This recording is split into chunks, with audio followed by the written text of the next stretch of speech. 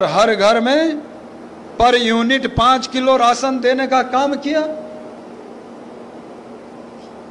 जिसके दस थे तो पचास किलो आ गया, बीस थे तो क्विंटल आ गया, दो थे तो दस किलो आ गया। लोगों ने स्टोर बना लिए, खरीदार सामने ढूंढ लिए।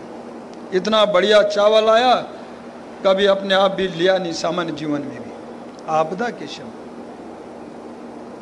लेकिन उसके बाद भी एक दूसरे से जलन होने लगी कि मुझे तो दो हैं तो दस किलो मिला, बीस वाले को क्विंटल क्यों मिला, इसको क्यों बीस मिला?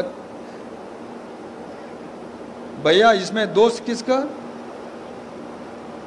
उसने बीस पैदा किए, आपने दो पैदा किए तो उसको एक क्विंटल मिलना। अब इसमें जलन काय का? जब समय था, तब आपने दो ही पैदा किए, बीस क्यों नहीं किए?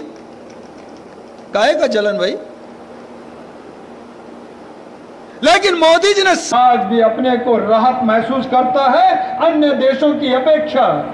जहाँ अमेरिका के 200 वर्ष हम लोग गुलाम थे, पूरे विश्व के अंदर उसका राज था।